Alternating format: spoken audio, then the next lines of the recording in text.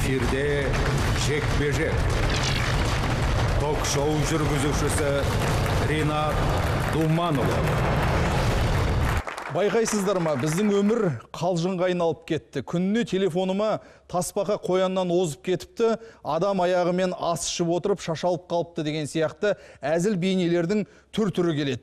Неге дейсіз бе? Неге біз дәл қазір әзілге қатты мұқтаж болып қалдық? Меніңше ол біздің қоршаған ортаға деген қатынасымыз болып жатқан оқиғаларға деген реакциямыз. Себебі бізде көп дүние өзінің ішкі мазмұнын жоғалтты құны түсті. Мейлі ол қоғамдық құбылыс болсын саяси тұлға болсын. Сосын тек әзілдеу ғана қалады. Ащы мысқыл жеңіл юмор бәрібір. Бұқара боп күлу. Кез келген жағдай күлуге себеп.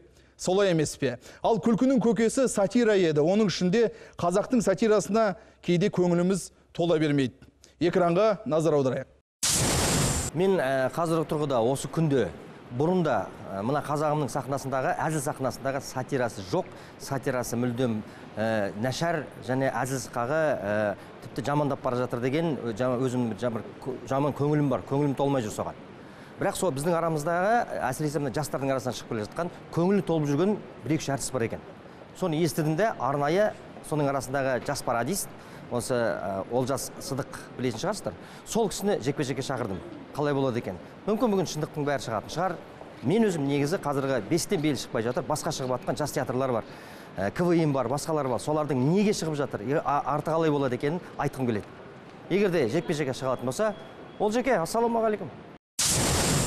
Енді бүгінгі тақырыпта алмат сақатов ағамыз ә, қазіргі ә, жас театрларға өзінің кішкене көңілінің толмайтындығын айтып айтар назым бар деп мен жекпе жекке шақырған екен. Мен жекпе жекті қабыл алып келіп тұрмын.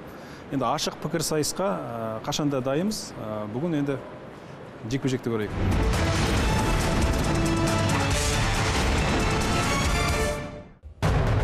Бүгін жекпе жекке шығатындар. Алмат Сақатов, актер. Олжас Сыдықбек, пародист жекпе жекке мырзалар қош келіпсіздер дейміз. Ассалаумағалейкум осы жекпе жекке үндеу тастаған алмат мырза сіз болатынсыз. Иә. неліктен қазіргі қазақ сатирасына қазіргі әзіл-сықақ театрларына қазіргі ә, сатира әзіл-сықақ актерларына сіздің көңіліңіз толмайды? Не ұнамай қалды? Содан бастайықшы. Енді қазіргі кезде ә, көп айтады ә, әзіл жеңілдеп кетті дейді. Ә, әзілдің салмағы бардай мысалы көп айтып жатады ғой. Бірақ со- соның ішінде біздің мына әзіліміз емес біздің сықағымыз жоқ болып кетті қазір. Жазады емес жазады жазатын адамдар бар жазбайды емес. Бірақ соны қоятын әртістеріміз сахнаға шығаратын әртістеріміз жоқ. Соны алып шығатындай. Оның ә, ар жағында жатқан түбегейлі мына қоғамда жатқан ә, болып жатқан көп кемшіліктерді айта алмай жатқан әртістеріміз бар. Бір екі. Неге? Өйткені олардың көбі жас. Бесіктен белі шықпай жатып белден бас басқа шығады. Ар жағында жаңағы өз айтатын ойы тұрмақ оның жүретін ә, сахнада қалай жүру керек екен қалай сөйлеу керек екен қалай тұру керек екен ол өнер институты оқымаған көп нәрседен ауылдан келген жаңағы екі әзілдің басын қосып үш анекдот жасап сахнаға шығарып жатқан қазіргі жас театрлар бар. Біз 93 жылдан бастап мен де өзімді айтайын 93 жылдан бастап біз ә, бауыржан шоу деген театр қосқанбыз. Теңгеге енді ғана теңге енді ғана ә, жасалынып ә, егемендікті енді ғана алып жатқан кезде тиын іздемей халықтың ортасына сол кездегі кемшіліктерді айтып біз былай жасауымыз керек біз сол кезде осындай боламыз деген нәрсені айтқанбыз. Үлкен өнерге қызмет еттік дейсіздер ғой. Ә, етті етіп келе жатырмыз. Ә, соның соның бір жаңағы бір бөлігі бүгінгі менің әңгімем. Ә, біздің сахнадағы жүрген жүрісіміз тұрысымыз ол дұрыс болу керек. Басқа ұлттың алдында басқа өнердің алдында тіпті опера мен балет ә, өнері келе жатқандарда 400 бен 300 жылдың ар жақ бер жағында. Неғып өлмейді өйткені түбегейі түбірі бар. Қозғалмайтын Ал жаңағы білімі бар. бүгінгідей қалыпта жүре берсе қазақ сатирасы өліп қалуы мүмкін деген ой өлуі де мүмкін. Жақсы түсінікті. Олжас мырза не дейсіз Сіз енді мына әзіл ә, саласында жүрген жас азаматтардың бірісіз ғой. Сіздерге көңіл тұр, толмай тұр алмат мырзаның кәсіби артистизм жоқ дейді білім жетіспейді дейді. Жазу жағы да қиын дейді келісесіз ба жоқ па?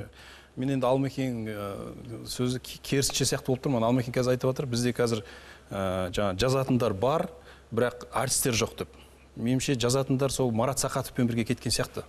Сол бауыржан шоудың дүрілдеп тұрған кезі сол кезде марат ағамыздың үлкен еңбегі болды жазатындар кетіп сол сол әртіс әртістердің бәрі жүр ғой қазір мысалы бауыржан шоуда бауыржан шоуға біз енді халық риза шығар өйткені тамашадан кейін осы әзіл кеңістігіне бауыржан шоу театры бір резонанс тудырған театр. Оны мойындауымыз керек. Өйткені біз бауыржан шоумен өстік. Енді ол өз дәуірінде сол кезде енді марат ағамыздың жаңағы әрбір актерға арнап әр актердің характеріне байланысты жазу несі ол бүкіл жан жақты режиссерлық актер бәрі толыстырып тұрды. Бірақ енді сол актерлардың бәрінің көзі тірі ғой қазір мысалы бауыржан шоудың иә? Енді мейірман нұрекеев ағамыздан басқасын. Бәрі бар. Бірақ неге қазір баяғыдай не жоқ? Неге шынымен Неге? осы сұрақты сізге қойғым келіп тұр енді- әлде қазір әзілдің формасы өзгерді ме? Әзілге деген сұраныс өзгерді ме? Неге алмекең айтпақшы жаңа кәсіби артистік қабілетпен шығатын жастар азайып бара жатыр? Сіз жазатындар кетті дедіңіздер сонда кім қалды? Көшіретіндер қалды ма? Ұрлайтындар қалды ма? Жоқ өздері ойлап табатындар қалды ма? Кім қалды? Енді алмекең айтып жатыр ғой қазір. Бәрі енді жан жақтан келіп әзіл шығып кетті егер олай шығып кетті деп ренжитін болса неге онда кәсіби актерлар шыға алмай жатыр онда? Неге олардың концерттеріне халық бармайды мысалы? Бұл жерде кінәні кімнен іздеуіміз керек? Бұл да заңды сұрақ екен. А керісінше мысалға қазір енді бұл бұл әзілдің меніңше бұл бұл жерде бұл театр ретінде мен кінәлағым келіп тұрған жоқ. Бұл енді өзі бір сондай өт, өт- кезең кезең ғой. Әр нәрсе бір тұра беретін дәуір жоқ. Ол заманға ілесу дейтін нәрсе бар да. Мүмкін ол біздің барлық осы әзілқақ театрларының бір кемшілігіміз заманның қазіргі ы, бір мына жүрісіне ілесе алмай қалған шығармыз. Осы заман деген шығады кезінде сіз теріс қақпайда болдыңыз Иә. өзіңіз. Кейін базар жоққа келдіңіз. Қазір жеке өнерпаз ретінде шығып жүрсіз. Сол теріс қақпайдан кетіп базар жоққа келуіңізге сол базар жоқтың форматындағы қазіргі жаңа әзілдің өздеріңіз айтпақшы соған деген сұраныстың көптігі себеп болды ма? Жоқ. Басқа не себеп болды? Енді бұрыннан келетін классикалық үлкен театрлардың концертіне ел Иә. бара бермейді дедіңіз Иә, өз иә, аузыңыздан шыққан сөз. Иә енді мен өйтіп ол сол теріс қақпайдан шығып танылдым. Ол осы театр сол сол жердің суын іштім. Мұны құдығына түкіруге болмайды. Бірақ енді мына базар жоқ. Ол бір жастардың ә, жеке орындаушылардан құралған бір жағы өңкей өзім қатарлы жігіттер бәрі. Біреуміз мысалы аманғали шаншардан келді. Мен теріс қақпайдан келдім. Тұрсынбек квннен келді. Қанат квннен келді. Сөйтіп жан жақтан құралып осындай бір жеке орындаушылардың театры болып құралды. иә бұл құрама команда болды. Сондықтан енді бұл енді қазіргі уақытта енді байқап қарасаңыздар енді бізде сатиралық театрлар көп. Бәрі бір кезінде жақсы көрермен жинаған елдің сондай бір тұтынушылық несін орындаған театрлар. Оның мысалға көпен ағалар да мысалы осы жерде арамызда отыр. Сол кезде тамашаға бәріне жазды. Бірақ енді қазір бұл қазіргі театрлар біздің сатир мен өзі соның өкілімін ғой сол театрлық театр мысалы жаңағы базар Иә. жоқ театрында кімдер жазады? Сахнаға шығатын азаматтардың сөздерін. Әркім өзі жаза ма жоқ авторлар бар ма? Бұл жерде буын өкілдері ма Иә, жастар ма иә. кімдер? Бұл жерде базар жоқта көбіне көп әркім орындаушы өзінің материалын өзі алып келеді ортаға. Не дейсіз алмат мырза? Және сіздің мына наразылығыңыз претензияңыз нақты қай театрға? Бізде отызға жуық театр бар мен негізі- аға театр бар бала театр бар. Жастардың өскеніне ешқандай қарсылығым жоқ. Әзілдің формасы өзгеріп жатыр деді заман өзгеріп жатыр деді. Жас Мүмкіншілігіңіз өскемен сол жарыл шығар. байыма мен осы ол жастардың оқымайтынына сахнада жұмыс істеп жатқан кездерінде мысалы үшін жаңа енді ә, базар жоқ дейік иә? Базар жоқ деген жаңағы айтып жатсыздар. Бірақ мен соның ішінде қарап отырған кезде қазір мысалы басында бірінші қойылым қойылған кезде көрдік екіншісін қойылғанда көрдік. Ә, жаңағы сол баяғы біздің бұрынғы өткен кезде біздің ауылымызда баяғыда бүйтіп жүрген кезде сол кезде мынандай болып еді осы жас кезінде мынандай болып еді деген сол бір өткен шақты айтады да мысалы үшін. Бір екіншіден ол жерде тек қана жаңағы бірі автомат бірі ит бірі шошқа жаңағы мал болып кеттік та біз қарап Иә. отырсаң ше өмірде зоопаркта отырған сияқты ғой. Иә. Мына өмірде болып жатқан ә, бір кемшіліктерді айтпайды да мысалы үшін. Қазір болып жатқан. жеңіл әзіл ғой. Иә мына көшеде мысалы хабар арнасы ұйымдастырған екі маусым бойы болған дудуман әзізхақ театрлар фестивалінде өзіңіз тұрақты төреші болып отырдыңыз. Иә. осы соңғы болған маусымында өнер қырандары жеңімпаз атанды. Ондай жастар да бар ғой әлде жоқ? Жастардың барлығына көңіліңіз толмай ма? өнер қырандары өнерде оқып оқыған қолдарына диплом алған төрт жыл бойы қиналған оның екі үш жыл бойы жүрген сахнада квн ойнағандар да бар ішінде бар жоқ мен квн квн оған тиіспей ақ қояйық әзірше. Ол бөлек тұрған бір басқа бір Оған жеке тиісемін дейсіз иә ол бөлек тұрған нәрсе. Квн ға балалар жұмыс істейді. Бірақ сол квн нан шығып алып мына жерде иә Иә. мысалы үшін екі сөздің басын қоса алмай жүреді да театр ашады кейбіреулер. Мына мен базар жоқты айтып отқан жоқпын. Басқалар да бар қазір ашып жатқан. Мен соларға қарсымын. Мен ә, мысалы м, атын есімде жоқ ә, қырандары негізі өздерінің алғашқы осы сахналық қойылымын шығару барысында сол квн алып шықты деп негіз бар. Егер балалар оны квн ешқандай қарсылығым жоқ ол Иә. квн ді жаман квн бізге жоқ мысалы театр айтыңыз нақты алмат мырза ақыры кетіп жатсыз ба? Нақты мына театр деп айтыңыз. Талдықорғанда бір театр бар. Мен ана жолы телевизорда қойылым көрдім. Ә, атын ұмытып қалдым. Есіме түспей тұр. Екіншісі екенбіз ә, танымал ел алдында жүрген театрлардан кімді айта аласыз? Міне мына театрдың мына қойылымы немесе мына актері жаңа кәсіби классикалық талаптарға жатпайды біз былай емес бір, деп. бір театрды бірақ алмаймын мен. Жақсы ал. Мынау Иә. мынауды бірнешеуін бірақ айтыңызшы. Мысалы үшін мысалы үшін маған базар жоқтың ішіндегі сондай мысалы үшін жаңа алып келген жеңіл ойнайтын ба- балалар маған ұнамайды. Өйткені ол қалай? Бүгін оны солай ойнайды ертең де ол басқаша болады. Ол мысалы бүгінгі емес ертең күні қалмайды дейсіз ғой. Сол менді мен бардым екі рет концертіне. Көрдім бірақ шыққаннан кейін есіме түспейді неге күлгенімді. Бірақ күлдім. Сондай ғой деймін. Мысалы үшін халыққа сол керек шығар қазіргі кезде иә. Мысалы үшін келді көрді күлді ештеңені ойламады далаға шықты кетті ақшасын төледі мысалы үшін. Бірақ шыққаннан кейін бір ой ойлайсың да. Бұған не дейсіз енді олжас? Бүкіл жастар үшін жауап беруге тура келеді енді. Енді ол жерде ә, меніңше қазір мысалға сатиралық театрлардың бір бір ә, миниатюраны бір 15-20 минут жарты сағат созып тұратын уақыт өтіп кеткен сияқты ол. Ол кезең бір кездерде қызық болды қазір бір формат өзгерді. Мысалға квн сияқты осы қазір жаңа келіп жатқан жастар осы аз уақыттың ішінде әртүрлі көп нәрсе айтып кетіп жатады өйткені қазір өмірдің динамикасы солай артып кетті қазір. Қазір біз соған ілесуіміз керек. Бұл бір жағынан біздің барлық әзіл сықаққа ортақ проблема бұл. Енді қазіргі бұрынғы кездерде мысалға бүкіл біздің қазақ ы, көрермендеріне бір ақ телеарна болды. Ол жерден тек қана бір ақ театр тамашалайтын тамашаны. Сол кезде тек қана тамаша келе шоу не айтады? Тамашаны ғана қарап отырды. А қазір ақпараттық құдайға шүкір жетеді. Кабельдік 15 телеарна бар интернет бар. бар, 30-ға жуық театр Иә, бар. ол ол шетелдің әзілін көргісі келе ма? ол жоқ мына ресейдің әзілдерін көргісі келе ма? Интернеттің Иә, тағы бар, ол- оларда әлеуметтік қол желілер бар. жетімділіктен керемет. Бірақ сондықтан біз біз әзілқақ театрлары осы көрермен талғамынан кешігіп қалдық біз. Біз ілесе алмай қалдық олардың талғамына. Сондықтан қазір мына театрлардың бәрі қазір ақсап тұрғаны сол. Мына мына сынға келісесіз ба жаңа кәсіби артистік қабілеттері жоқ ойнаған кезде сахнада сол жерде айтылады сонымен ұмытып қаламыз дейді да. Мүмкін арнайы білім алғанда дұрыс шығар. Әлде жаңағы ә, ресейдің мысалы комеди клабын өзін алайық иә немесе стендап шоу деген форматтар қазір енді ол жерде де ие ол болып жерде де мысалға ол- жерде оның ешқайсысы актер жатқан жоқ қой. Мысалы мартин есендар дейтін ол ол дейтін ме- медицинаның маман мамандығы медик мысалға да ол дәрігер. Сол сияқты мысалы менің өзім мен өнердің енді бір менің бір сауатсыз әртістердің бірі менмін. Мен әліппесін білмеймін. Өйткені өнер академиясын оқыған жоқпын. Мен казгу бітірдім. Сол жерде жүріп әйтеуір сахнаға шықтым. Мысалы базар жоқта біздің қанат ол темір жолдың оқуын оқыған. Тұрсынбектің мамандығы басқаша. Бірақ соларды ешкім мынау дейтін оқымаған деп ешкім көрмей қоймайды ғой оларды халық жақсы көреді. Сондықтан оқыған әртіс пен оқымаған әртісін салыстырып ортаға тастасаңыз жоқ сонда ертең ол не береді ол балаларға? Ол біреуді оқыту керек. Е берген сахнаға бүйтіп тұруың керек бүйтіп жүруің керек деп бәрібір түбегейлі адам оқу керек. Мысалы үшін деймін да содан кейін мен айтып отқан жоқпын. Біздің ә, жаңағы отыз шақты театр бар дейсіз ғой жаңағы кәдімгі Иә. иә, ә, Қалыптасқан, өнер институтын бітірген балалар да бар да. Мен негізі сатира солар солардың өзі де сол сатираны ойнамайды деп айтып жатырмын. Бізде негізі тек қана жастар ә, емес бұл жерде әңгіме. Осы жерде бір мына аға буын өкілдері тарапынан қазір шын айту керек мойындау керек. Мына жас актерлар сатира саласында көбісі шоумен үлкен бағдарламалар жүргізеді концерттерінде аншлаг бір қызғаныш бар емес пе осы жерде? Аға буын өкілдері тарапынан. Кәсіби эгоизм десек те болады оны. Мен әзілде жүргенімізге міне ә, қырық бес жыл болды ау деймін. Өйткені екі жасымда есім кіре бастады. Жаңағы қазір қырық жетіге келдік. Сол өмір бойы сахнада жүрмін да сондықтан да менде қызғаныш деген нәрсе баяғыда өліп кеткен. А, бірақ мен қуанамын халық күліп қырылып отқанда қуанамын бірақ солармен мен де көріп отырамын да бірақ мен түсінбеймін неге неге онда аға буын өкілі ретінде ақыл кеңес айтып бірігіп жұмыс істеп жазбайсыз бұл жігіттермен әлде сіздер тартпай ма олар? Жасаймыз істейміз. Онда не проблема онда? Бір қосайын мен. Ал бауыржан мырза алматы жақтаушы ретінде сіз тыңдайық. Мысалға запорожец болды москвич болды волга болды. Одан кейін басқа машиналар шықты. Қазір неше түрлі спортивный оның дизайны ауысып оның жаңағы жүру жылдамдығы ауыс, ауысқанмен оның енді ана механизмі вообще ана внутренний сгорание оны ешкім өзгерте алмайды ол сол күйі қалады и одан басқа еш нәрсе біз ойлап таппаймыз өрге сол сияқты ол мынау өмірдің ә, жаңағы олжас айтқан сияқты өмірдің талабына қарай ауысып келіп жатқан нәрсе. Бір кезде тамаша деген біз күніне бес концерт қоятынбыз. Күндіз он бірде кіреміз түнгі сағат он екіде шығамыз ішінен. Ең соңғы екінші үшінші концертте не айтып не қойғанын білмейсің уже. Енді өзіңіз ойлаңыз әр концерт екі сағаттан болғанда есептей беріңіз ары қарай. Содан кейін сол тамашаның аяғын баса бауыржан шоу келді. Содан кейін мына жерде біз жаңа әңгіме айтып жатырмыз ана квннен шыққан ә, театрлар деп. Ол театрлар емес олардың бәрі концертный бригада деймін мен оларды. Театр деген сөзге соответствие ету керек. Театрдың өзінің сахнасы болу керек. Оның кәдімгі ә, өзінің жаңағы екі үш ә, жаңағы авторы болу керек. Костюмерный цех гримерный цех деген сияқты. Содан кейін оның тек қана ол ә, апта ай жылына бір екі үш қана шоу қойып қоймай оның өзінің репертуары репертуары болу керек.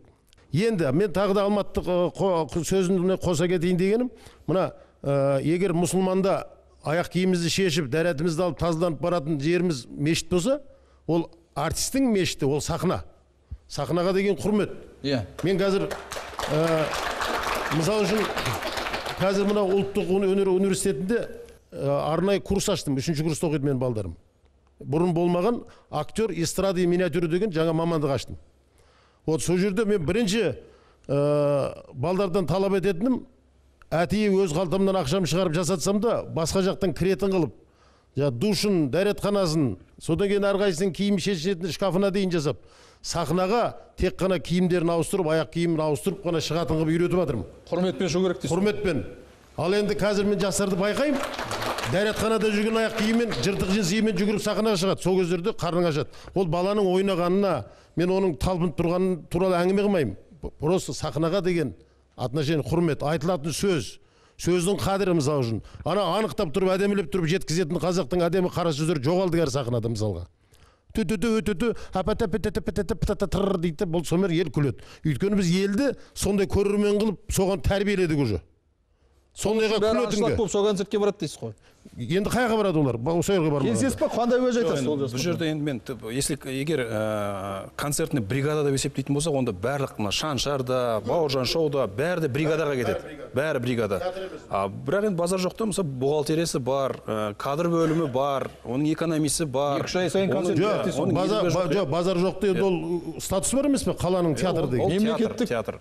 Астана қаласы Астана қаласы. Те- театр ол. И ол театр ғой енді мен мен мен жеке жеке айтып отқаным жоқ базар жоқ болмаса басқа деп. Менің айтып отқаным жалпы біздің мына қазақстанда жүрген жігіттердің бәрі ол бригада. Бригада. Ол шаншар да анау нысана да нақты сөйлесек алмат мырзаға да жаңа сол сұрақты қойдым. Біз енді жекелеген театрлар деп жатырмыз да.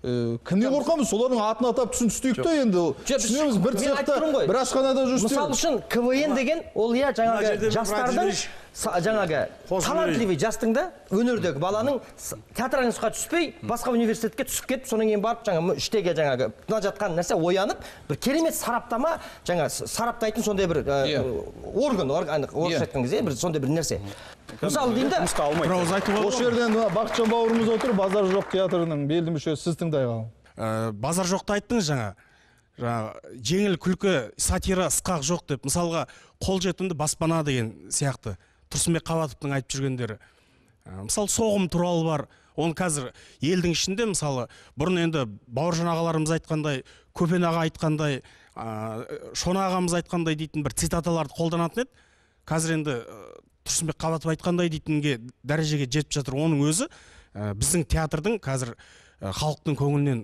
шығып сол сұранысқа ие болды деген енді бұл енді оған не уәж мен- айтасыз? мен ә, мен жаңа айттым ғой бүкіл театрға деп. Мен ә, жаңа бір адамның ойына, ойынына қарап мен бүкіл театрға жаңағы топырақ шашқым келмейді. Бірақ оның өзінің ол егер де бұл театр жайында айтып жатсақ яғни ол театр өмір сүруге жаңағы имеет право орысша айтқан кезде ше кешірім сұраймын. Лайықты. иә лайықты өмір сүруге. Егер де біз бір бірнеке бір өмірдегі бір құбылыс жайында айтып жатсақ яғни ол құбылысты или оны біз жеңуіміз керек. Немесе онымен келісуіміз керек бітті.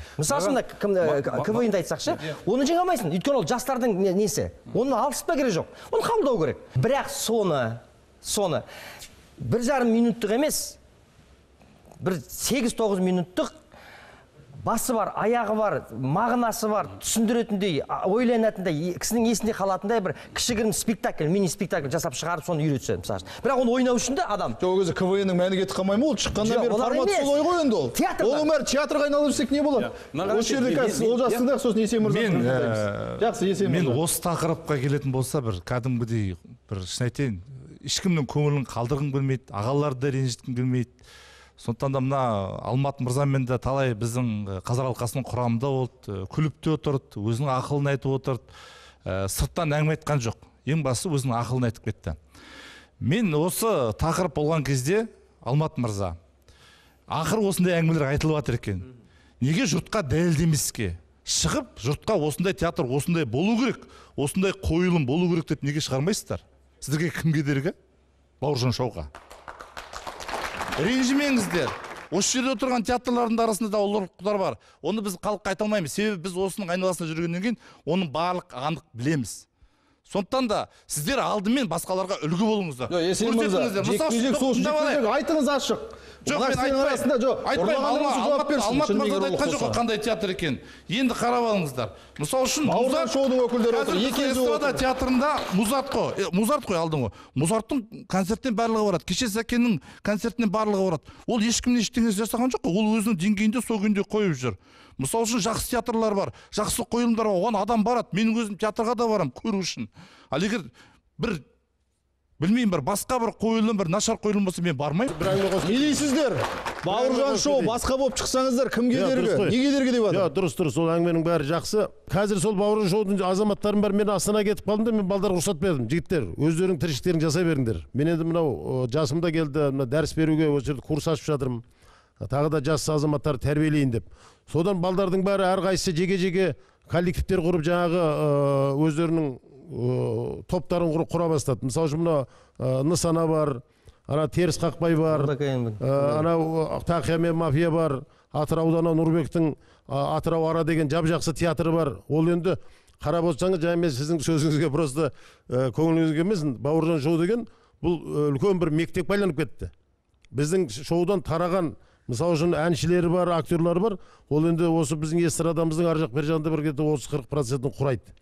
Ол үлкен еңбек оның бәрі. Ол бекерден бекер келген нәрсе емес.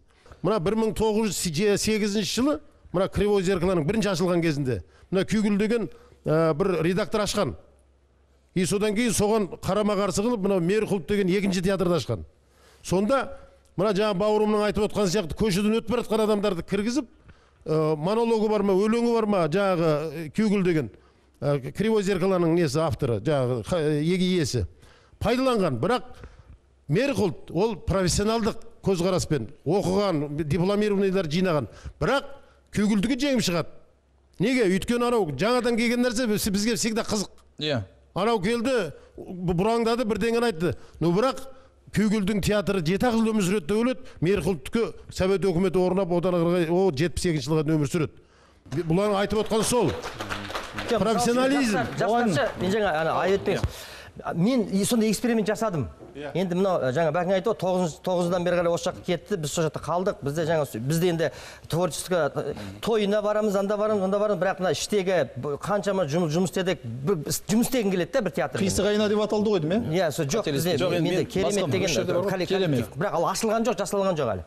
Соны соны алдында жұмыс істетін Иә. бірақ квн алып көрейін дедім. Осылармен істеп көрейін. Мүмкін бұл енді бір феноменальный нәрсе Осылардан шығар. алып көрейікші Иә, дедіңіз иә, как раз осы сіздің шақырып сол жерде отырып жаңағы квн да отырып әбден күліп соны қарап отырдым да төрт бес коллектив бар екен. Соның ішінде төрт бала ұнады да соны ойладым осылармен істеуге болады. Көрейінші осылар. Мүмкін енді бұл бір басқа жақтан біз білмейтін бірнәрсе шығар деп ойладым да. Соны ойладым. Бастап бір жыл бұларменен үйретпей тек қана рөлді беріп просто осыны бүйтіп ойна бүйтіп ойна деп. Сөйтсең болмайды екен ол. Өйткені есектің аяғына алтын тағат тағып берсең де ол тұлпар болмайды. Оны үйрету керек екен ше оны жарату керек екен оны. Бұған не дейсіз қазір оқытып жатырмыз да балаларды ше кәдімгіше. мен өзім оқытып жатырмын. Бұған не дейсіз жаңа баукең айтқан бес талапқа сай бола алып жатсыздар ма Біріншіден, о балдар ә, алматы облысы жаркенттің балдары. Иә олар сахнаға шықты ә, сахнаға шығып бір бір белестерді бір бағындырған ештеңесі жоқ. Ең бастысы олар бір қазақы бір орындайтын жігіттер. Ә, тойға басқа да бір іс шараларға қатысып жүрген жігіттер. Иә. ал негізі егер шынымен авторы бар топты алып негізі сондай бір ә, соңғы бағытта командалар алатын болса онда жағдай басқаша болар еді. Сосын бауыржан аға егер де осы бізге біз мына өсіп келе жатқан жастарға бізге жетіспейтін ақыл. Ақыл кеңес. Жалғыз менікі ғана емес сондықтан да егер сіздің уәдеңізді алып қалайын егер сіз қаласаңыз біздің ойынымызға келіңіз әр ойынның соңында тұрып балдарға ақыл кеңесіңізді айтыңыз. Сол кезде жағдай өзгереді. Осыған келісесіз бе мынау жоқ па мынау мынау енді әдемі әңгіме. Мынау ол айта берген әңгіме Осы әңгіме үшін ешкім келбетті оқымайды да, бүгінгі кете бермейді. кештің ең жақсы әңгімесі осы міне осы.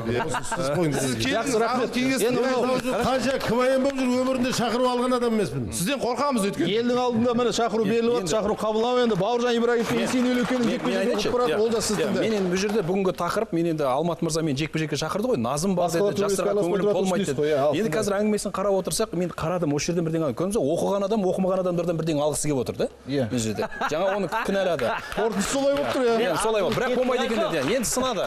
Енді жаңа бауыржан ағаны айтып отқанға қарасақ бауыржан ше үлкен мектепке айналды бәрі жеке жеке не құрып кетті дейді. Бірақ оның бәрі сөз жүзінде бауыржан ағаның жаңағы әрқайсысында бір театр бар сияқты бір мектеп сияқты. Бірақ шындық өмірде жоқ қой қайда ол? Кім кім мысалға әзіл кеңістігінде бар ма басқа театрлар? Ешкім жоқ.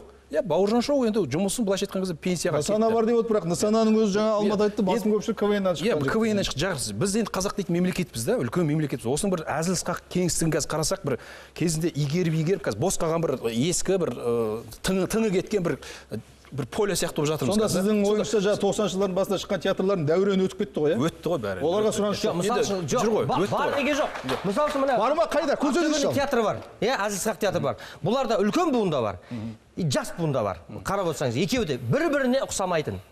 Мына екеуі мына үлкендер шыққан кезде жаңа орындан елумен қозғалады да жаңа жастар шыққанда орындан екі жүзбен қозғалады бірақ бұлар соларға беріп жатыр сабақты. Ендеше білмеймін мәдениет министрлігінің жанынан ба бір комиссия құрылып егер де бір театр ашылып концерт беретін болса сол комиссиядан өтпейінше оларға рұқсат бермесе. Мен осы айтып кетейін. Иә. мен осы мынау мұхтар құл мұхаммед министр отырған кезде сол кісіге арнайы кірдім. Сіз кезінде одақ құрған жоқпысыз ба? Қазір соған келе жатырмын мен. Сөйтіп со- мен айттым міне осындай бір одақ құрайық деп едік. Осыны бір қолдауы бірінші осы министерстводан басталса сосын ол кісі айтты мақсаттарыңыз не? Сосын айттым менің мақсатым мына қазір дедім ә, мынау сахнаға ә, енді кімді анау да мынау да көп не ә, бір айтатын ойы жоқ ә, бір сапасы жоқ көп дүниелер шығып кетіп жатыр. Соған бір осы мәдениет министрлігінің қасына бір комитет құрылып соған мысалы үшін ә, жаңағы әр одақтан бір бір мүше қабылдап мысалы үшін солардан бір лицензия беретіндей қылып. Мысалы олар келеді де өзінің баяғыда біз мысалы үшін мынау концерт қоярдың алдында ана сағат әшімбаевтың алдына кіріп екі сағат болатын концерттің миниатюраларды отдельно ойнап беретінбіз. И содан кейін сахнаның екі жағында екі редактор тұрады мына көбегің біледі ол бекең біледі. Әр сөзді анау автордың жазған сөзі орындалу керек. Ол әрине эстрада артистінің оружиясы бірінші қару ол экспромт. Бауке, сол одақ құрылып сізді президент сайлаған сияқты еді ғой қателеспесем. Жоқ дұрыс. Мен жаңағы бір- театрлар кірді соған. жоқ, бір ойдан екінші ойға кетіп қалып жатырмын содан кейін сол ол кісі айтты бәке мынау ойыңыз дұрыс деді бірақ деді біз оны істей алмаймыз себебі біз демократиялық мемлекет болғаннан кейін ә, біз ала салып сендер мына ойнамайсыңдар мыналар шық дей алмаймыз оған парламенттен ә, заң шығаруымыз керек. Заң шыққаннан кейін барып солай болсын деп содан кейін біз сол ә, одақты құрдық.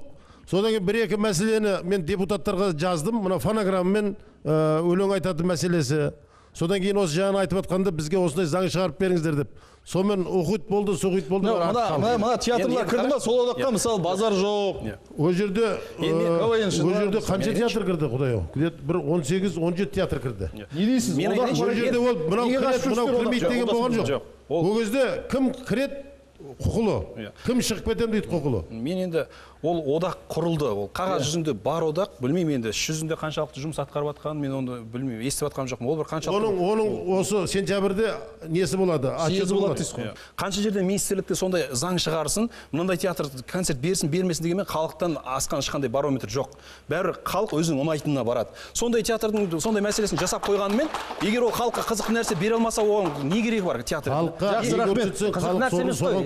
өмірдегі керек қой. Мысалы үшін мен өткенде бір театрдың жігіттеріне мен аттарын атамай ақ қояйын бір бір замечание айттым бір миниатюра қойып жатыр мына сахнаның бір бір элементарный бір этикет деген болады мәдениет мысалы үшін ол дәретханадағы нәрсені халықты күлдіру үшін не обязательно сахнаға алып шығу ана екі досы кездесіп қалды да ресторанда отыр бір уақытта анау жүрегі айныды енді айтуға да ыңғайсыз құсам деді сөйтіп еді анау басындағы шляпасын берді да анаған құсқызды қаяққа төгем деп еді апарды да басына кигізді өй ағып кетті ғой дейді анау қарап отқан менің қасымдағы адам мына не өшеш деді мына. Мына не не деген сұмдық? А біздің сен ойламайсың ба? Біз зрительді уже соған тәрбиелеп қойдық. Бауыржан ол сізде де бар ғой ол? Қай жерде бар? Құдағи бір порте деп құдағиыңыз ой сен оны құдағиды шатастырма құдағиға құдағиға құдағидың құдағи құдағи бір партия ә, итайық деген мысалы үшін баяғыда ғафу қайырбеков оған ә, үлкен ба- баға беріп кеткен. Бұл чеховтың үйірімен пара парлаймын деп. Ниеті жаман ғой ана қалай ниет жаман құдағилардың жаңағы ойнасқа шақыратын нәрсе ғой дейді да ол тонкий юмор. Ол анау құдағиын ол нәзік юмор деп ол- ол татарлардың арасында болған оқиға мысалы үшін өмірде болған бұл жерде енді егер жаңағындай жақтан қарайтын егер болсақ ол дегенім ғой, жаман болатын болса құдағи бір партия сол 18 жыл өмір сүрер ме еді сериал болып бұныңыз да рас енді. Жақсы рахмет. Анау алыстағы ақтөбеден арнайы келіп отырған қонағымыз бар. Тахауи ахтанов атындағы ақтөбе облыстық театрының директоры нұрлыбек жұбатқан мырза отыр. Бұл кісі бір емес үш театрдың директоры екен. Біздің еліміздің тарихында болмаған оқиға. Үш театрдың директоры не дейді екен? Жаңа мына қарсы тараптан айтып қалды кейбір мына үлкен театрлардың өзі ұрлыққа барып жатады деді. Ондай сіздерде бар ма жоқ па білмеймін. Не дейсіз? Енді мына еті асылса нан қалмайды деген бар ғой. Иә. Біздер театр туралы айтсақ ылғи да квн қалмайды. Негізі театр ол бөлек квн бөлек. Біздің тісіміз батпай отыр да. Оны мойындаймыз. Оны қазір бірдеңені іліп кетейік десек ол бәлеге қалайын деп тұрмыз да. Иә. ол қорқақтап отырмыз ал енді қараңызшы Сол ол неге, бөліп тастаймыз оны? Екеуінің де міндеті бір емес па театрдікі де квндікі де айналып келгенде көрерменге қызықты көңілді кеш жалпы мен өзім театр мен квнді араластырмаймын. Квн ол өзінің бөлек күші бар қоғамда қалыптасқан жолы бар. Жастарды тәрбиелейді. Өйткені қазір жастардың баратын жері жоқ. Қаншама жаман жолға түсіп кетіп сіздің театрда квннен шыққан актер жоқ деп елдің алдына айта аласыз жоқ иә актерлар бар. Бірақ Жоқ, бірден олар сахнада енді жоқ мен оны жамандап отқан жоқпын. Квннен шыққан актерлар маған келеді бірақ бірден сахнаға шықпайды бір екі үш жылдан кейін барып шығады. А, дайындайсыздар. Дайындаймыз. Өйткені квннің жолы стилі басқа а театр ол бө- бөлек басқа. Оны өздеріңіз білесіздер. Енді бұларда мен айтайын дегенім сіздер мана сатириктер мына театрлардың нашарлап жатқанын біз мойындаймыз. Ы, барлық театрлардың бәрі жарқырап жүру мүмкін емес. Кейде жоғарыға шығасың кейде төмендейсің. Ол өмірдің заңы. Ба- барлығы осы авторларға байланысты. Квндер квнде мысалы редакторлар бар. Олардың авторлары. Күндіз олар бірігіп жазады. А бізде бізге кім қой деп жатыр деген? сатириктер аз емес. Бізде бар. Мысалы міне көпен ағам отыр. Анау ақтөбеде классик төрежан мәндібай ағамыз бар. Жаңа олжас айтып бар тамаша болсын. Одан Иә. кейінгі театрлар болсын. Енді сіздің театрда классикалық театр ғой. Ол театрларға деген қоғамда сұраныс жоқ. Дәуір өтіп кетті деді. Келісесіз ба жоқ. па? Сіздерге сіздің театрға сұраныс қандай мысалы? міне екі он жеті жыл болды өмір сүріп келе жатыр. Мен қасында автор құдайға шүкір жазып отырмын. Және де олардың ы, мемлекет қолдап отыр. Мен енді екі жаңа алмат айтты ғой екі үш буыны бар. Оларда көлеңке театр дейміз клоунад бүкіл жанрдың бәрін қамтимыз. Екі езу енді ол аймақтағы театр ғой аймақта болғанда да. біздерге эфир жетіспейді. Шынымен сол аймақпен қалып қалған жоқсыз ба? Жоқ. Біздер міне көбірек айтайын мысалы шаншар деп жатсыздар ғой енді шымкент шоу дейді олар енді эфирден түспейді оны мойындау керек. Біздер мысалы ы, сахнаға шығуға бізде мүмкіндік жоқ. Талай келіп қоя алмай қайтып кетеміз. Енді ол да әсер етеді. Өйткені өнер адамына жарнама керек. Осы тарапта бар ғой біздің мына әзіл сықақтың бір ең бір қиын жері адамдар көп түсіне бермейді да мысалға ән дейтін нәрсе ескірмейді. Дос мұқасан мысалы той жырын қазір де тойда айтса да халық билей береді жақсы көреді. А сіз былтырғы айтқан әзіліңіз биылғы айтсаңыз халық сізге кішкене ұнатпай қарайды. Сондықтан бұл ә, әзіл адамның әзіл ә, мына юмористердің жүгі әншілерге қарағанда бір он есе жиырма есе ауыр. даму қарқыны үнемі халықтың алдында жүріп отыру керек. Үнемі ол жетектеп отыру керек. Біз өзіміздің өзіміздің көрермендерді өзіміз жетектей алмағаннан кейін басқа біреулер жетектеп жатыр сондықтан біз кімге ренжиміз? Біз өзіміз кінәліміз. Өздеріңіз кінәлісіздер деп қояйық та. Сөз кезегін сарапшы мырзаларға берейік. Осында қазақ сатирасының ақсақалдары отыр. Бірінші көпен әмірбек мырза сізден бастасақ. Төрелігіңізді тыңдайық. Е төрелік мен риза болып тыңдадым екі жақты. Мына алматыда маған айттыңдар ғой осы қызға қызғаныш жоқ па деп. Бұнда қызған қыз, қызғаныш емес қызығушылық бар екен. Жанашырлық бар. Бұнда шырыл бар шырыл. Шырылдап тұр. Неге? Болса екен деп тұр. Көрдіңіз ба? Ал енді бір осының ішінде бір айтылып қалды бізде жаңа бауыржан жаңа одақ құрғанда ресми 18 театр әзілсқақ театры бар деді иә? Иә. Сол 18 әзілсқақ театрының үшеуі мемлекеттік әзілсқақ театры. Біріншісі мынау оңтүстік қазақстан облыстық әзілсқақ театры. Екіншісі мінекей нұрлыбек отырған ақтөбедегі екі езу әзілсқақ театры. Үшіншісі мінекей базар жоқ. Тұрсынбек қабат иә? Үшеуін де мемлекет қаржыландырып отыр. Бұл деген не өкіметтің беті бері қарады деген сөз қолдай бастады деген сөз. Сондықтан біз осында айтысып тартысып жүріп барымыздан айырылып қалмасақ екен деймін де осы жерден. Сіз енді бірнеше буынның көзін көрдіңіз ғой. Сахнада жүрген сатира жазып жүрген азаматтардың қазіргі көзқараспен алғанда қалай бағалайсыз? Қазір енді мысалы мына бауыржан шоу бастаған бұрыннан келе жатқан театрлар бар иә классикалық. Одан кейін енді бәукең сатиралық бригада деп айтты жігіттер өздері театрымыз деп жүр олардың бір толқыны қалыптасты. Квннен шығып жиналып топ құрып сахнада жүрген азаматтар бар. Не дейсіз? Біздің мынау әлісқақ театрларын Объективті болайықшы, ашық айтайықшы әлісқақ театрын біз үлкен бір армияға теңейтін болсақ бұлар кәдімгі қоғамдағы сыбайлас жемқорлық парақорлық ашкөздік деген сияқты өңшең пәле жалаға қарсы соғысу үшін бұл кірісіп кетті соғысқа. Сөйтті де кәдімгі соны жеңетіндей жеңе алмайтындай болып барлығы партизан секілді бет бетімен күн көріп жатқан сияқты. Шындық осындай. Партизан болып кетті қазір. Мынаны айтып жатыр жаңағы осы квн ді есен? Мен осы таңқаламын бұдан бұрын да осы әңгіме қозғалады. Квн осы театр ма театр емес пе керек пе керек емес пе деп. Ол квн деген ол бір шешесінің соңынан еріп келген өгей бала секілді көреді де жүреді. Ол өгей бала емес ол өзінің баласы. Өзінің баласы ғой. Ерке тотай дейсіз ғой. Ерке тотай бұл былайша айтқанда ә, снайпер. Қазақта көз мерген және қол мерген деген болған. Қол мерген не? Көздемей ата салады дәл тигізеді көз мерген не? Көздеп тұрып атады. А бұларда сөз мерген. Қысқа нұсқа. Сіз де Сондықтан қолдау квн керек. әділ қазылар алқасына барасыз ау жақында? Қайда? Квн ның әділ қазылар алқасына. Жоқ ол шақырып мен бара алмай жүрмін неше рет шақырды мен бара алмай келесі жолы уақыт тауып барыңыз дейміз онда. Жоқ айтайын. Рахмет. Ал енді мынау жаңағы оқыған тоқыған дегенді диплом бар жоқ деген сөзге мен түсінбеймін. Құрманғазы атақты күйшіне қай оқуды бітіріп еді? Шәмші қалдаяқов қай оқуды бітірді? Бұл жақсы қолдау керек. енді рахмет. Көпен ағаның сөзін тыңдағаннан кейін алмат мырзаның айтқаны шындығында қызғаныш болып қалды енді. Көрдіңіз ба өйткені жаңағы қызғаныш екені анық көрініп тұр енді. Өзіміздің кінәмізді мойындамаймыз.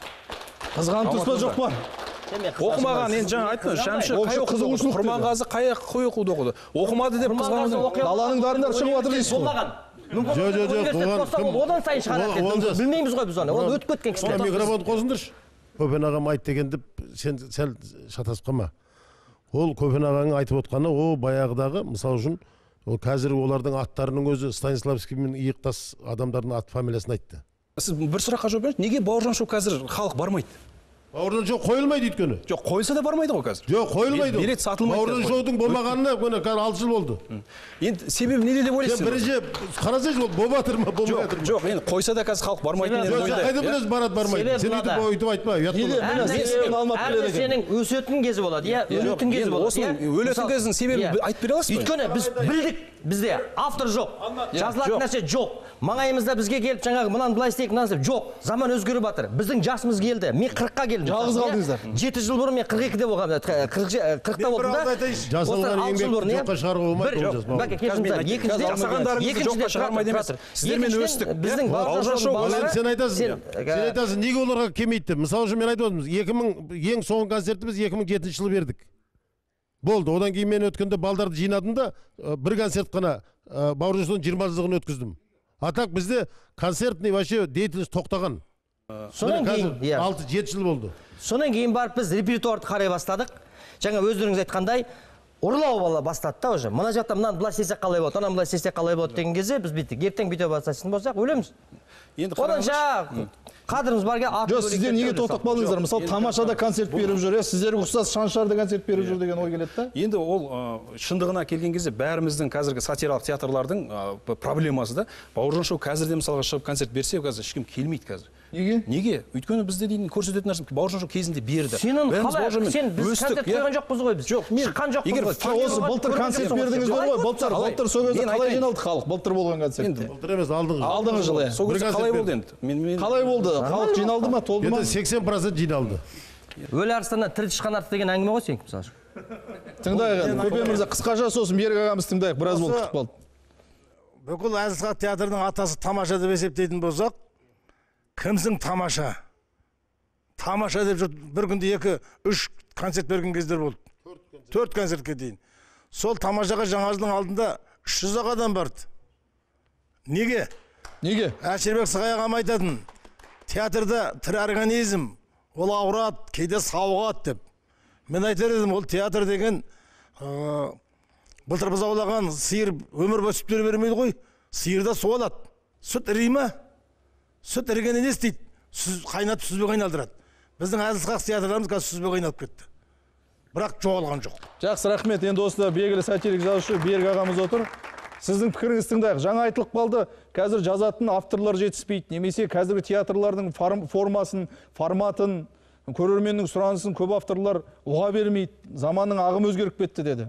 Мен бұл жерде айтпағым кейін құрылатын театрларда бір мүмкіндіктері болса сол барлық негізгі нәрсе қоржынды жөндеп отыратын редактордың болғаны дұрыс. Сол редактор барлық жерде жазатын кім бар?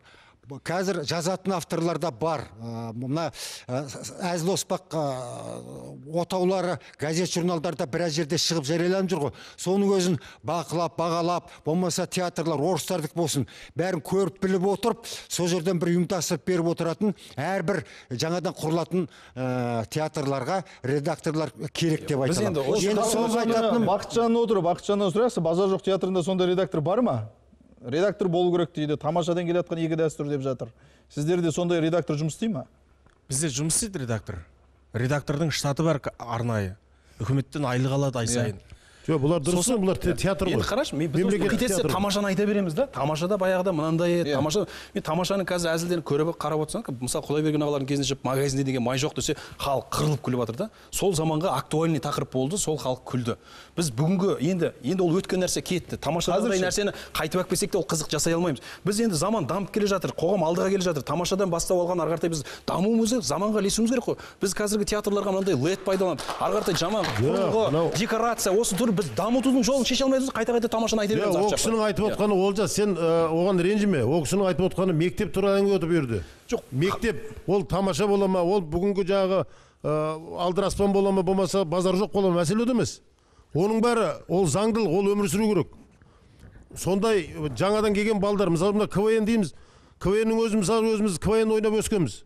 Сіз де ойнағансыз ғой квн сонда. Студент кезімізде бәріміз ол квн деген бара мына кімнің жұмаш бауырым айтып отқаны дұрыс. Ол өзімен өзі баяғыдан бері келе жатқан өсіп келе жатқан бір үлкен бір ә, мәуіліп ағаш сияқты нәрсе ол квн деген. Енді жастар келеді ойнайды буын буын ауысып кете береді мысалы үшін. бір театр қазір концерт қойсын да бүгін иә содан шыққан көрермендер десең қазір қазіргі былай енді сезіп отыру керек қой. Мына аудиторияны атмосфераны көңіл толмайды біздерге. Өйткені қазір әзілхақ театр не неге оны осының себебін сұрап көрейікші неге? Неге бізге халық көңіл толмай жатыр қазір театрларға? Мына қазір зуылдап жатқан заман. Мына енді квннің жігіттері жағы бұлардың стильдері мысалы үшін анекдот действиях вот анекдотты просто мен қазір көпеге айтып берсем ол жерде қимылмен. Случай ә, талдыкургане дейміз да ойнай саламыз. Ол жерде мысалы үшін костюм отсутствует образ отсутствует біздің шырылдап жатқанымыз сол. Ол театр мен квннің екеуі екі түрлі нәрсе? Бірақ соның ішінен шығып жатқан балдарды мысалы сол театрға алып келіп жаңағы ә, костюмге үйретіп гримге үйретіп бір жақсы спектакльдер жасаса солар ойнайды. Бізде- бұл жерде әңгіме сол туралы болып жатыр ол жерде квн жаман болмаса анау базар жоқ жаман болмаса анау шаншар жаман деп жатқан әңгіме емес. Авторлармен жұмыс істеу деген мүлдем тоқтатылған. Бірінші дағдарыс авторлармен жұмыс істеу жоқ. Театрлар талпынбайды сонда оған иә келмейді ешқайсысы келмейді. Маған мысалы бір адам айтқан жоқ жаз деп. Жүрміз ғой осында астанада алматыда. Неге? Мен, мен саған айтайын мынау айтайын американың бір жақсы несі бар ыыы, ыыы, өздерінің бір тә- тәсілі бар. Қыздарға дейді. Золото обещать етіп иә мороженое сатып бер дейді. Сондай болып тұр біздің ғой әзілхақ театрдың бәрі бізді қыз сияқты көреді. Алтын алтын уәде береді да сосын мороженое бере салады. Оған не дейсіздер? оған есен мырза бақытжан мырза не дейсіздер енді? Біреуіңіз квннің біреуіңіз бел сөздің ашығы бізде қазір келмейді дейді иә, шақырмайды дейді. бізде төрт редактор жұмыс жасайды. Ә, себебі қазір бұрын мысалы үшін орыстың лигаларынан ә, жаңағы тмд елдерінде болып жатқан әзілдерді ұрлап алып келетін еді балдар ғой оны. Иә. Қазір мысалы үшін сонау кореяда болып жатқан жарнама ә, бразилияда болып жатқан бір шоулардан ұрлайтын болған. Ұрлық халықаралық деңгейге көтерілді. иә жоқ көтеріліп кетті. Сондықтан да кейде мына әзіл сықақ театрларында болып жатқан ұрлықты көрген кезде мен қарным ашып қалады алмат мырза. Ренжімеңіздер сосын сіздер мысалы көпен жасап па едіңіздер жазыңыздар. жоқ ақшасын төлесеңіздер жазамын деп отыр ғой енді. Жоқ көпен ағаның ол әзіл сықақ театрына арнап жазатын бағыттағы кісі. Иә. Бізде кішкеше кішкене жоқ сіз оны басқаша қайдан білесіз? Мүмкін квнға арнап жаза алатын шығар көпеке енді қарайықшы. Мен көпен ағаның шығармаларын оқимын. Квнға жазар ма негізі оқылатын әзілдер бар. Оқылатын оқығанда күлетін иә, әзілдер бар бөлек ол. оны сахнаға шығарсаң сахнаға шығарсаң оған күлмейді мәселен жаңа көпекең әзілмен алтын мен балмұздақ екеуін келтіріп отыр ғой. Иә. тура осы сияқты петросянның кривое зер- зеркалосын жаңа айт- айтылып қалды ғой. Ол жерде петросянның ең бір ғажаптығы бұл авторлармен жұмыс істеуде. Солармен жұмыс істейді екен да бұның қоржынына бір ы, жаңағы сахнаға шығар кезде ә, бір мыңдай скетч кеп түседі екен. Соның ішінен таңдап алады екен. Таңдап алғанда келісім шартпен мінекей мына скетчіңді біз таңдап алдық деп ақшасын береді екен. Олардың ақшасы беретін ақшасы сұмдық 10 мың долларға дейін барады екен. Бір скетч ә, қабылдап алатын болса. Ондай нәрсенің шеті шықса бір екі мың болмаса бір мың доллар. Қазір құдайға шүкір мен айтатын болсам бұл жерде 30-40 сатирикті бүткіл облыстан да барлық жерден де Иә. қайсы қай дәрежеде қайсы қалай жазалады осы квнге жазала ма басқаға жазала ма түгел айтып ә, беретін едім. Кімге дауысыңызды бересіз? Қай жақ басым болды? Енді ә, мен бәлені басым түсті деп бір нәрсе айта алмай тұрмын. Теңбе тең дейсіз ғой сіз мен мына нәрсені сіз айтайыншы теңбе тең дейсіз теңбе тең екеуі жақсы көпен мырза сіз кімге дауысыңызды бересіз бұл қазақ өнері үшін бұлар кәдімгі қазанға түсіп күйді теңбе тең болды ғой пісті қазақтар айтады оны ит шығыс деп ринат мырза жақсы рахмет тоқсан ауыз сөзін толықтай түйін шығарсақ қандай қорытынды ой айтасыздар ал алмат мырза әзіл сатирасын сахнасын проходной двор өтіп кететін жай емес вокзал емес сахна жасау үшін маман болу керек деп ойлаймын мен сондықтан. Жақсы рахмет. Сіздің жаңа форматтар жаңа бір әзілге алып келетін бір қазақ өнерінің игілігіне жарайтын формаларды шетелден болсын басқа жақтан әкеп ол игілікке жарап тұрған болсын ешқандай айыбы жоқ. Біз соның жаңа жолдарын қарастыруымыз керек заманға ілесуіміз керек өз көрермендерімізді өзіміз игеруіміз керекпіз жақсы рахмет. Қысқа нұсқа үш сұрақ қоямын соған бір ғана ауыз сөзбен немесе иә жоқ деп жауап берсеңіздер. Алмат мырза әзілмен қоғамды түзеуге бола ма? Болады. Жас әзілкештерден жақсы дүние ала алдыңыз ба? Алдым. әзіл деп өтірікті көп айтасыз ба жоқ па? Әзілдеп иә. Или әзіл әзілдеп қалжыңдап. Айтамын олжас мырза әзілмен ақша тапқаныңызға арланбайсыз ба? Жоқ. Ескі сатира мектебінен көп дүние үйрендім деп айта аласыз ба жоқ па? Айта аламын әзіл мен шынайылықтың арасын ажырата алмай қалатын кез сізде бола ма жоқ па? Ә, жоқ мен өзім сезем бірақ сезе алмайтын адамдарға жетпей қалған кезде қосымша комментариймен түсіндіремін. Жақсы рахмет.